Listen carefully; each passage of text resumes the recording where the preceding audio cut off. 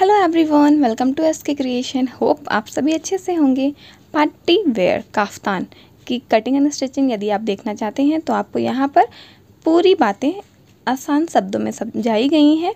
और ये जो काफ्तान है ना, इसके साइड में हमने लटकन यूज़ किया है, ताकि ये थोड़ा सा इसका लुक इन्हेंस हो और ये पार्टी वेयर लुक दे। इससे आप पार्टी शादी या किसी भी फ़ंक्शन में आराम से वेयर कर सकते हैं। तो चलिए वीडियो को स्टार्ट करते हैं। इसके लिए हमने लटकन्स लिए हैं फिफ्टी पीसेस एंड लेस लिया है और ये देखिए फ्रेंड्स मोती जो हम प्लाजो में लगाएँगे और लेस लिया है जो हम नेक के डिज़ाइन में लगाएँगे। सबसे पहले फैब्रिक को हाफ़ फोल्ड करेंगे और ऊपर की साइड में जो फोल्ड वाला प्लेस है ना, इसे हम कट कर लेंगे। ताकि हमारा फ्रंट एंड बैक दोनों फैब्रिक अलग हो जाए। अब इसके बाद आपको जैसे इसकी लेंथ लेनी है।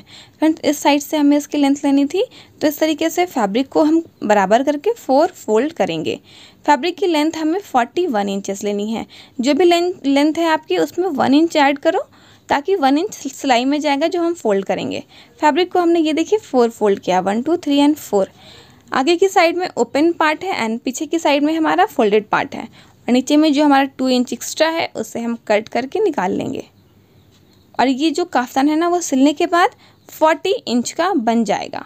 चलिए नेक की मार्किंग करते हैं। सबसे पहले नेक की जो वेथ है, वो थ्री इंच और इसकी जो लेंथ है, वो हम फाइव इंच रखेंगे। आप अपने अकॉर्डिंग बड़ा या छोटा कर सकते हो। और हमने यहाँ पर गोल शेप का गला रखा है। आपको जो भी डिज़ाइन चाहिए, आप वो रख सकते हैं। अब चलिए मेज़रमेंट करते हैं। सबसे पहले जो भी आपका चेस्ट साइज़ हो, उसे फोर से डिवाइड करें और प्लस टू इंच मार्जिन लें। तो हमने इसे टेन इंच रखा है। फोर्टीन पे कमर का निशान एंड ट्वेंटी टू पे हिप का निशान लगाएँगे। तो यहाँ पर सेम कमर साइज़ को फोर से डिवाइड करें and plus two inch extra और यहाँ पर जो भी हिप साइज़ हो, उसे फोर से डिवाइड करें and then plus two inch extra तो हमारा एट आया था तो हमने टू इंच एक्स्ट्रा लिया है तो टेन इंच पे हमने मार्क किया है। और सभी मार्क्स को एक दूसरे से जोड़ लेंगे। और फ्रेंड्स यहाँ पर जो है हमारा शोल्डर का हमें लाइन देना है। तो उसके लिए हमने थ्री इंच पे निशान लगाया है। यहाँ पर हमें सिलाई करनी है। और नीचे की साइड में हम फाइव इंच पे मार्क करेंगे। यहाँ तक कि हमें सिलाई देनी है। हमने मार्किंग फ्रंट साइड में किया है क्योंकि सिलाई ऊपर की साइड देनी होती है। ये जो फोर्टीन इंच है ना, यहाँ पर हम थ्रेड लगाएँगे लटकन ताकि बांधने में यूज़ हो। आप चाहे तो लास्टिक भी लगा सकते हो। सेम मार्किंग दोनों साइड करनी है ताकि सिलाई करने में कोई भी परेशानी ना हो।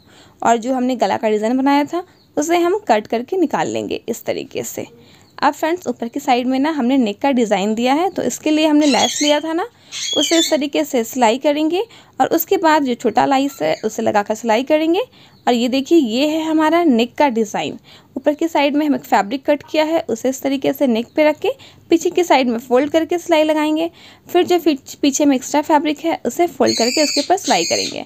तो नेक बन के तैयार हो चुका है। अब चलिए, यहाँ पर हमारा जो कमर है ना, वहाँ पर हम एक फैब्रिक ऐड करेंगे, ताकि इसके अंदर से जो है ना, वो हमारा थ्रेड पास हो। तो उसके लिए आपको यहाँ पर एक स्मॉल सा सर्कल कट करना है। इधर साइड भी, इधर साइड भी। सेम यही कट आपको पीछे के साइड वाले फैब्रिक में भी देनी है और फिर इसके ऊपर से हम एक फैब्रिक लेंगे, जो हमारी टू इंच है, उसे हम ऊपर के साइड से भी फोल्ड करेंगे और नीचे की साइड से भी फोल्ड करके इस तरीके से सिलाई लगाएँगे। ओके फ्रेंड्स आप आसान से देख लो कि किस तरीके से हमने इसके ऊपर सिलाई लगाया है। हमने यहाँ पर आपको सिंपल तरीके से बताया है ताकि आपको पूरी बातें आसानी से समझ में आए। तो इस तरीके से आपको पूरे फैब्रिक पे सिलाई लगानी है। आप चाहो तो इसके ऊपर इलास्टिक भी लगा सकते हो, पर आपको इलास्टिक पीछे की साइड से लगानी होती हैं। और ये फैब्रिक ऊपर की साइड से आता है, क्योंकि इसके अंदर से हम थ्रेड पास करेंगे, जो हमें एडजस्ट करने में हेल्प करता है। सो ये देखिए फ्रेंड्स, इसकी सिलाई हो चुकी है। सेम यही सिलाई हमने बैक के साइड में भी की है। और ऊपर में देखिए फ्रेंड्स, हमने थोड़ा सा प्लेस खुला छोड़ा है। और ये हमारा बैक फैब्रिक है, इसमें हमने सिलाई लगा ली है। तो चलिए, अब बैक और फ्रंट दोनों के शोल्डर को इस तरीके से बराबर करते हैं और सबसे पहले शोल्डर की सिलाई देंगे। दोनों साइड में जो हमारा लंबा सा शोल्डर है ना, हमें उसकी सिलाई देनी है। काफ्तान में जो शोल्डर होता है ना, वो बहुत लॉन्ग हो जाता है, क्योंकि ये पूरा स्ट्रेट रहता है। आप चाहो तो फैब्रिक को बिना कट किए भी सिलाई कर सकते हो। अगर आप कट करते हो ना तो आपका शोल्डर एकदम प्रॉपर प्लेस पे आता है। तो इसलिए हमने इसके ऊपर कट किया है। तो हमने फ्रंट और बैक दोनों पार्ट को एक दूसरे के साथ रख कर सिलाई लगा ली हैं। तो हमारा शोल्डर जॉइंट हो चुका है। ये देखिए फ्रेंड्स ये दोनों एकदम बराबर अपने प्लेस में आएगा। आपको एक बार चेक कर लेना है।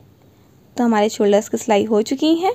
अब इसके बाद ये जो हमारा साइड वाला फैब्रिक है ना, काफ्तान का, उसमें लगाएँगे हम लटकन। तो हमें फाइव फाइव इंच पे मार्क करनी है पूरी फैब्रिक पे। और उसके लिए हमने एक लटकन लिया है, जिसकी लेंथ फोर इंचेस है। तो इस तरीके से ये जो लटकन है ना फ्रेंड्स, इसे सुई में पहले हमने डाल लिया है। अब इस तरीके से आपको जहाँ पे मार्क किया है आपने ना, आगे की साइड से डालनी है और पीछे की साइड से ये बाहर आ जाएगा और इसके ऊपर एक सिंपल सा नॉट लगा लो। इस तरीके से आप आसानी से लटकन लगा सकते हैं अपने फैब्रिक पे।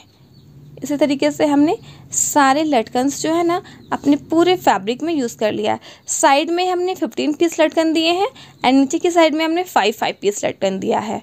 इस तरीके से चारों साइड में लटकन लगाई है हमने।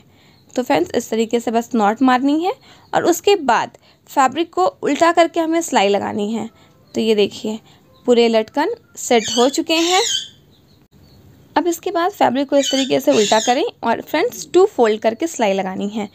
सिलाई लगाते वक्त ध्यान रखिए जो लटकन का जो थ्रेड था ना, उसे हमें फैब्रिक के अंदर डालनी है और इस तरीके से क्लीन सिलाई लगानी है।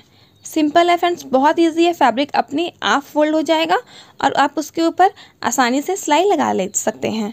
हमने आपको यहाँ पर सारी बातें आसानी से समझा दी हैं। अगर वीडियो पसंद आए तो वीडियो को लाइक करें शेयर करें और सब्सक्राइब करें। और फ्रेंड्स लटकन्स लगा लेने के बाद अब हम इसके ऊपर लगाएँगे लेस। तो ये जो साइड वाला एरिया है ना, यहाँ पर हमें इस तरीके से लेस को रखनी है और चारों साइड में सिलाई लगानी है। तो हमने टू टाइम सिलाई लगाई है लेस से। तो काफ्तान की सिलाई हो चुकी है। अब इसके बाद देंगे फिटिंग की सिलाई। तो हमने जो मार्क किया था ना, वो दिख नहीं रहा है तो दोबारा मार्क कर लेंगे। ये देखिए फ्रेंड्स, ये सारे मार्क्स हैं। फ्रेंड्स, जो मार्क किया है ना आपको केवल उसके ऊपर ही सिलाई लगानी है। तो चलिए सिलाई स्टार्ट करते हैं और नीचे की साइड में हमें केवल यहाँ तक की सिलाई देनी होती है ताकि फैब्रिक नीचे की साइड से पूरा फिट ना हो। ये शोल्डर एंड देन ये चेस्ट वाला एरिया फिर देन कमर पार्ट एंड देन नीचे की साइड में जो हिप वाला एरिया है, हमें उसके ऊपर सिलाई लगानी है। और हम सिलाई फ्रंट साइड से कर रहे हैं। इन बातों का ध्यान रखें। सो फ्रेंड्स ये देखिए, इस तरीके से बस आपको फ्रंट साइड में दोनों तरफ़ सिलाई लगानी है। और आपका काफ्तान बनकर रेडी हो जाएगा। बस इतने ही स्टेप्स फॉलो करने होते हैं और काफ्तान की सिलाई कंप्लीट हो जाती है। होप आपको सारी बातें आसानी से समझ में आ गई होंगी। तो ये देखिए फ्रेंड्स अब फ्रेंड्स बीच में जो है ना, हम थ्रेड लगा लेते हैं, उसके बाद आपको पूरे काफ्तान का लुक दिखाते हैं। और ये देखिए साइड में लटकन्स हैं। ये है पूरे काफ्तान का लुक। साइड में लटकन्स एंड नीचे में। चारों साइड में लटकन है फ्रेंड्स और ये इसका प्लाजो। नीचे में हमने इसमें मोतियाँ लगाई हैं। प्लाजो की वीडियो अलग से आएँगी, जो आप देख लेना। और ये दुपट्टा। दुपट्टे के साइड में हमने लेस लगाया है। ये है काफ्तान ड्रेस का पूरा लुक। कोई भी क्वेरी हो कमेंट बॉक्स में पूछ लें। And friends thanks for watching this video bye bye take care and keep support